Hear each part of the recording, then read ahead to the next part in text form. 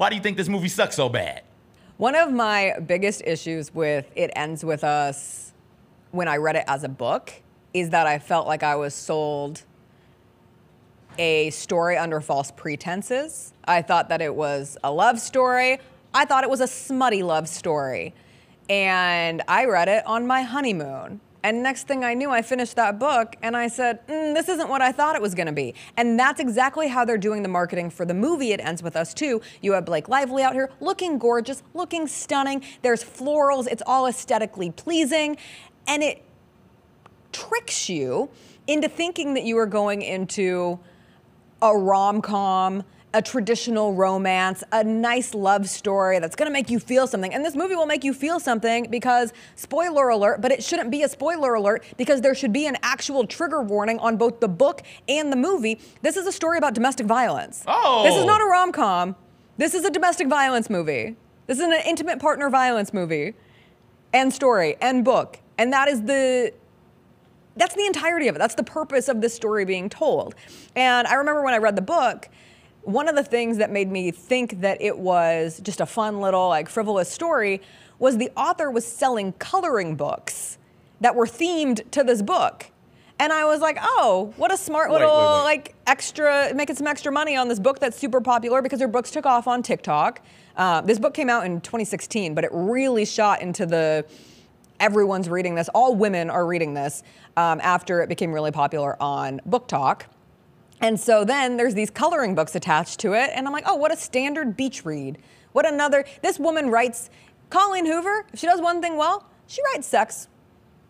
Okay, good enough that you can get lost in it. No smutty beach reads are great books. You're not here for great writing. You're just here to be generally entertained. But then she comes in, and not only along with bad writing, some smut, and domestic violence.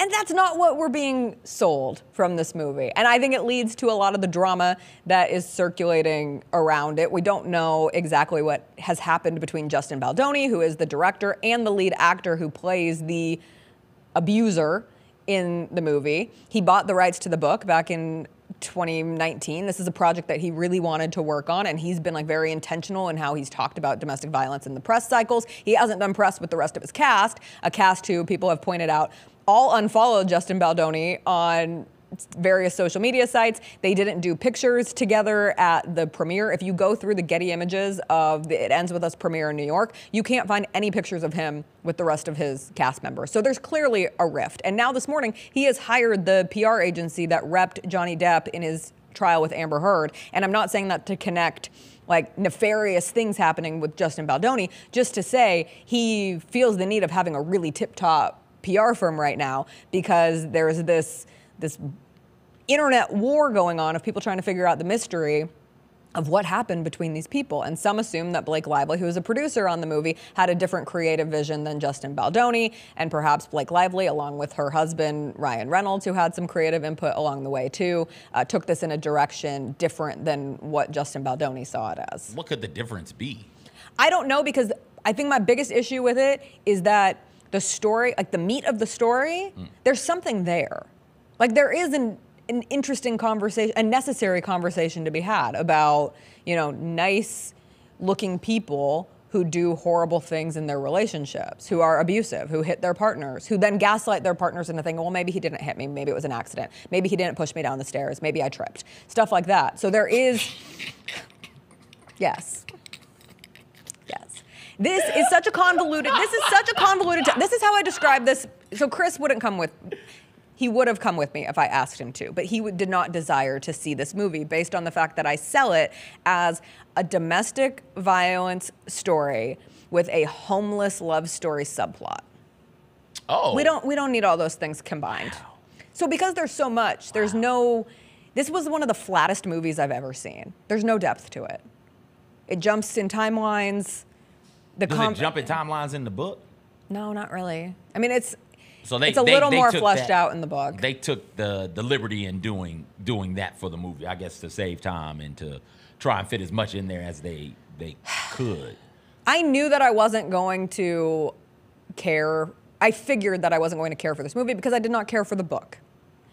However, I truly thought I was going to walk into that movie theater yesterday and at least cry. I was going to have to reckon with the fact of, because I do think it's an interesting conversation to be had. A book, in this case, that is not very well written because I don't like the writing style of. Colleen Hoover. Here's, here's how you know.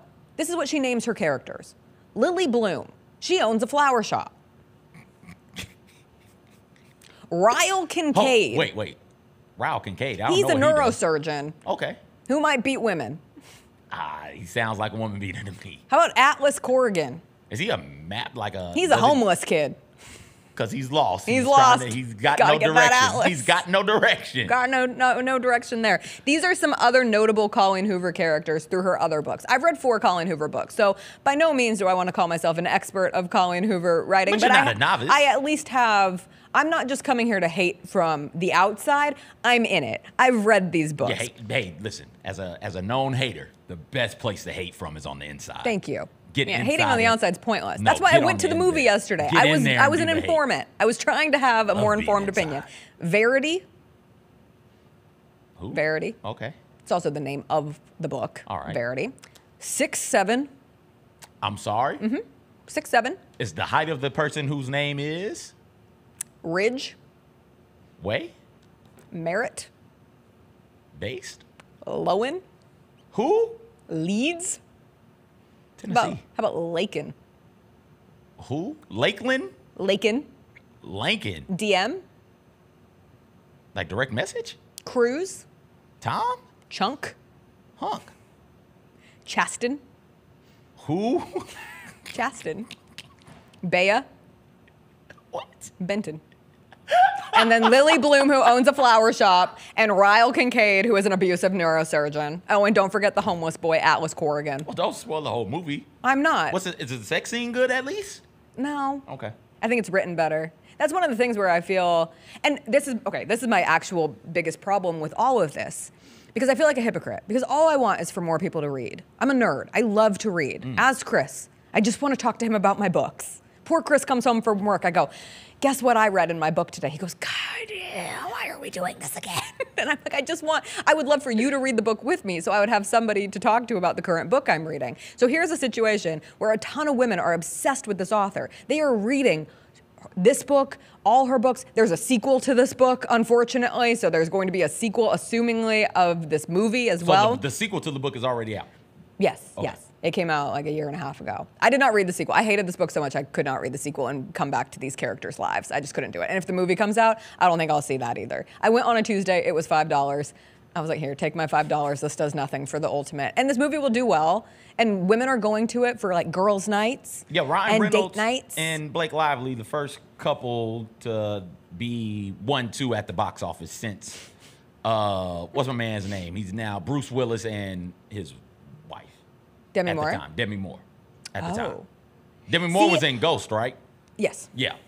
Oh, there you go. Yeah. But I feel like they tried to have a little Barbenheimer moment with this movie, and and if you want to get into the the Barbenheimer of it, sure, Oppenheimer is a very very serious subject of a man who created a weapon that killed many many people, and. Uh, This is a true text I sent a friend yesterday.